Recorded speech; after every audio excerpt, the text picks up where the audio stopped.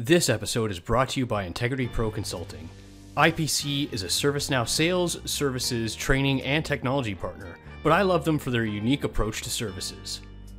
IPC knows that project success is nothing without proper organizational change management, and each of its resources are trained in OCM frameworks. Check out the links below and see what a difference that can make for your organization.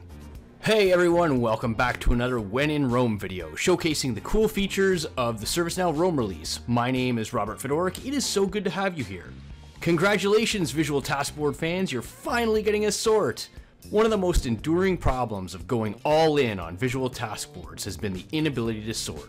Let me show you what I mean. Here we are in the incidents by state board for the HR team. We've got a problem because we've exceeded our lane limit of in progress tasks. If you didn't know about lane limits, I did a video on it which should be showing up in YouTube cards right about here. With more work in progress than we feel we can adequately handle, it is time to prioritize. Except we don't know how this list is sorted already.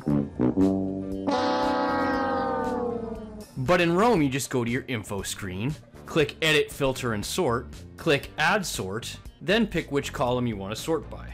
We're going to pick Priority, and make sure that it's A to Z. Save, Save. Now our intrepid but overwhelmed HR team can use their vertical task boards with the confidence that the columns are sorted highest priority first, working smarter already. It's a small feature, but it earns my Yes, Finally award because it's been so sorely missed by anybody who's gone all in on VTB.